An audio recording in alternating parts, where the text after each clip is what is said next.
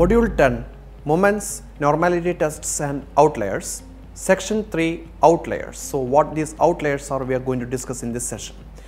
Outliers are simply an extraordinarily high or low value in the normally distributed data set. So remember these are only for the normally distributed the bell shaped distributions abnormally high or abnormally low scores are or the values are known as uh, you know the outliers. Outliers might be arise due to several reasons. So, how come the outliers form? So, it could be mere chance. So, that is why uh, it is very difficult, it tricky to know is it really an outlier or is it actually uh, you know uh, merely chance so the outlier has come or not. It could be a mistake as well. So, either during the experiment or during the data entry for example, instead of uh, entering 11 somebody typed a mistake it instead of 11 it is 111 so 111 so it becomes an outlier in that sense as well. So you have to detect these outliers using formal statistical tests and remove it uh, to before going for any data analysis.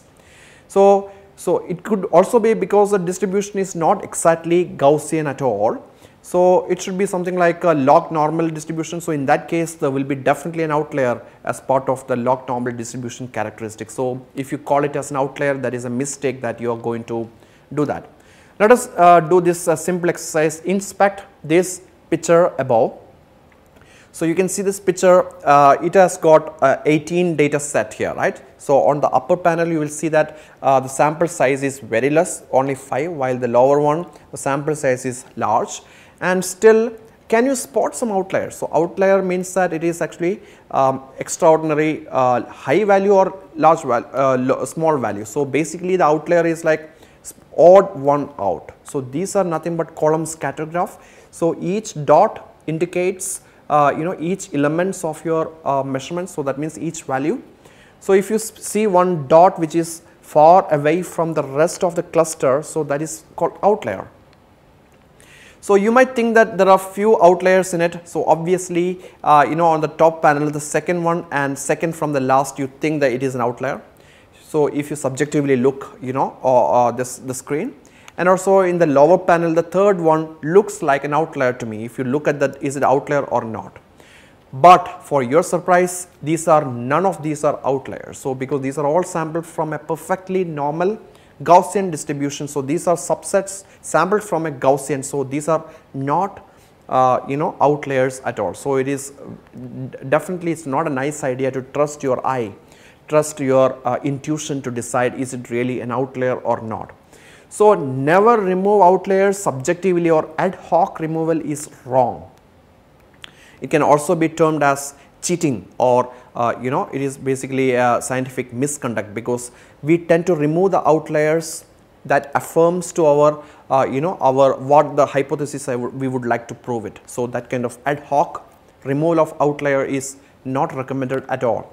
We tend to subjectively label values as outliers to get the results that we want you know that is exactly that is a problem here. So, it is a form of cheating if you remove the outliers that uh, you know whatever the outliers that you would like to remove it. So, human brain is very good at seeing the patterns, you know, while not so good at seeing or recognizing random scatter. For example, when I went to Antarctica recently, as part of the Indian mission to Antarctica, I have seen several different kinds of uh, huge iceberg, massive iceberg most of which had blue color.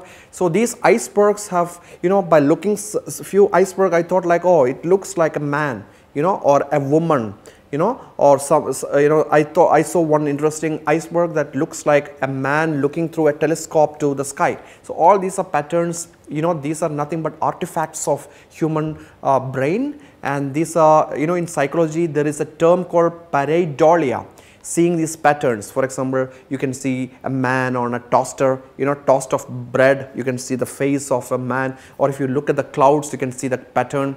Or in this figure, you know, just a screw, you know, uh, the, the first one is a screw while the second one is just a building, you can see the eyes in it. Or the third one is very, very, uh, you know, uh, everybody knows about it. It's nothing but our moon. So, it depends on how you look at the moon, you can see either a rabbit, the moon rabbit or you can see a man uh, the face of a, a, human being on the moon. So, these are all called pareidolia. So, the caution is that never remove outlier from your notebook So, it is very important the raw data has to be preserved and the raw data should contain the outlier. So, if you remove it or you erase the outlier in your notebook that is that construes to uh, a, you know data manipulation which is an academic offense, a serious academic offense. So, even in the publication it should be clearly stated that how many outliers were removed from the data set and what the, the criterions to identify these outliers. So, if you have used some test like Grubbs test or the ROUT method, you have to clearly specify these methods were used and this many outliers had been removed you know and without which uh, uh, this uh, you know that is actually again that is a kind of a cheating you know that you should never do that. So, a few respected statisticians believe that the outlier should never be removed it is a form of cheating. So, uh, you know the, the, uh, there are actually respected statisticians uh, they do not have the agreement you know the, some well respected statisticians say that outlier should never be removed. So, yeah.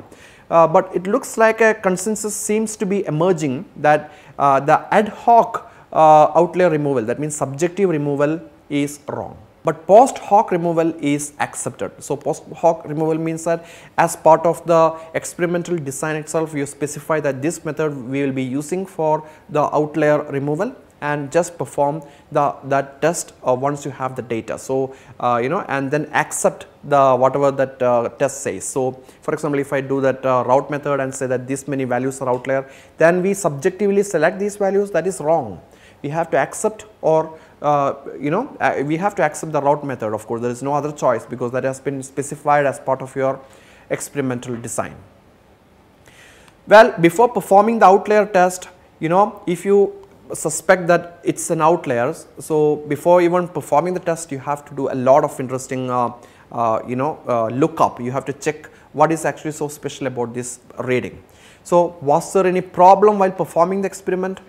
So, you have to check the notebook for example a spike you know in the electro uh, you know the, the, for example uh, chromatography if you are running you heard some spurt noise and exactly at that time you see that this abnormal result. So, in that case you can simply remove it you know outlier. So, uh, that is what you can do that.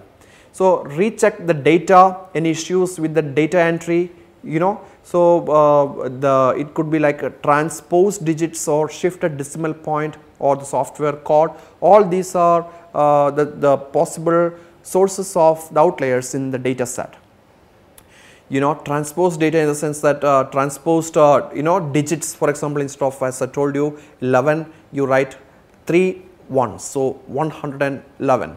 So, those are transposed digits. So, the shifted decimal point means instead of uh, putting uh, 19.08 you put 9.908. Uh, so, it is a transposed decimal. So, you have to do that. So, the first one is uh, also extremely important for example, while, while doing uh, you know while doing uh, filtration media filtration then you saw a lot of leak and that do correspond to the outlier that you got then you can just redo that experiment to get rid of that outlier.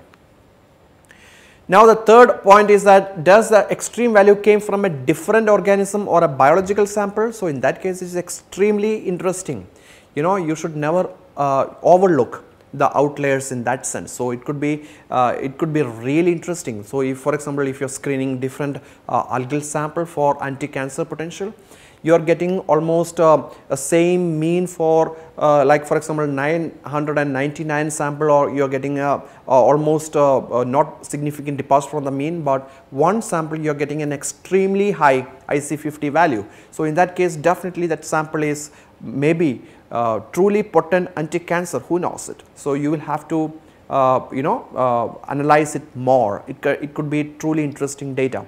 This is exactly what happened when ozone hole was detected by Dobson spectrometer above the Halley station in Antarctica. So, before this ozone hole was detected the satellite data uh, that did say that there is actually uh, the ozone you know ozone hole is depleting significantly, but then the software thought that it is an outlier and that has been removed. So, now that we know it was a mistake it was not an outlier while uh, you know it has been uh, uh, after the you know the Dobson spectrometer readings confirms that the hole, hole is true so, the removal of the outlier by that software uh, in American software that did it is wrong. So, simply removing the outlier is not a good idea at all. So, what are the formal tests to detect the outliers? So, outlier detection tests are not supported in Excel unfortunately. So, you have to go with uh, another paid software like you know GraphPad Prism or SPSS. So, two of the commonly used outlier tests are one is called Grubbs test. So, it can detect only one outlier and the another method is called ROUT method. So, which can detect more than one outlier together. So, the Grubbs test works like uh, you know they calculate the, uh, the difference between extreme value and the mean of all the values you know. So, then it actually see that. So, your value is actually within falls within 2 sigma or not. So, if it does not falls within 2 sigma that is the standard deviation then that means it might be an outlier. So, that is how that Grubbs test work. While the case of ROUT method you know it is much better than uh, the, the Grubbs test if you have multiple uh, you know outliers. So, in a way it is hard to say that your data set has only one outlier or more than one outlier. As I told you subjective uh, interpretation is wrong it has to be objective. So, in that uh, that that is one reason that many people say that a Grubbs test is inferior to the ROUT method. So, always go with the ROUT method. So, if you are unsure of how many uh, you know how many uh, outliers do your data set has. So, this screenshot is that of the, the graph, the, you know, the, the GraphPad Prism software and as I told you there is a special video available on how to perform the outliers, how to detect the outliers by the Grubbs as well as um, the ROUT method inside the GraphPad Prism. Please watch that video as well. So, as you can see in this screenshot, so out detect outlier is one option if you click new analysis in the GraphPad Prism um, main interface. Then there are two, uh, you know, these two tests uh, will come up in the pop-up window. You have to choose appropriately whichever the test would you like to perform. Then the results will be displayed. So, the result will say that you know the first result will be the cleaned data in which the outliers have already been removed. Then second uh, sheet of the result window will be uh, you know uh, which are these outliers. So, which are the serial number of these outliers and remove while the third one is the summary of the, uh, the test uh, the Grubbs test or the ROUT method. So, let us have a mini reflection point here inspect this data set it is again it is a screenshot from the GraphPad Prism and then uh, can you choose or decide an appropriate outlier test if you wish you may pause the window, uh, you know the video right now and come back after some time. Well, as you can see in this data set, it has got only one outlier. So, to know is it really an outlier or not, perhaps I will go with the Grubbs test. Well, you can also go with ROUT method if you are unsure. So, ROUT method will also work for if, to detect one outlier or multiple outliers. So, ROUT method is advantageous. So, in summary, Outliers are extraordinarily high or low value in the normally distributed data set. So, it is pertinent only for the normally distributed data sets. Outliers might arise due to several reasons including mere chance, a mistake either during the experiment or during the data entry or because the distribution is not really Gaussian. So, our assumption that the distribution is Gaussian is wrong. It should be noted that the outlier should never be removed from the lab notebook date or you know of course you should never remove from the, the lab notebook or the lab archive the digital uh, uh, repository where you upload your raw data in it. So, even the publication should be clearly stated that how many outliers were removed from the data set and the criterion to identify the outliers or any test used should be clearly specified in the publication. For example, if you write an MSc uh, project or a PhD thesis or if you publish a paper out of it in a peer reviewed journal, you have to specify it, you know, so how many outliers have been removed. Before even performing an outlier test, you know, it is prudent to discount other possibilities of the raw reading, including the mistakes in the data entry, experiment or biological variability. So, biological variability is extremely important, you know, so it could be truly interesting finding uh, who knows. So, you, you know you should definitely look these outliers. Remember uh, what I told you about the ozone hole uh, detection. So, outliers are maybe sometimes the outliers are a lot more interesting than uh, the, the usual readings. Suspected outliers should never be manually removed. Ad hoc outlier removal or to, to get what the result that you want is cheating while post hoc removal as part of the experimental design is not. So, post hoc uh, uh, you know the outlier removal is uh, permissible in statistical analysis. To detect one outlier, Grubbs test is recommended, while to detect two or more, ROUT method is preferred. But in one sense, ROUT method is having more advantage than the Grubbs test. So, you can always go with the ROUT method. Please also note that there are companion videos on the, gra uh, the GraphPad Prism training. So, watch that video. So, how to perform the outlier test inside the GraphPad Prism. I hope you enjoyed it. I will see you again in the next module. Thank you.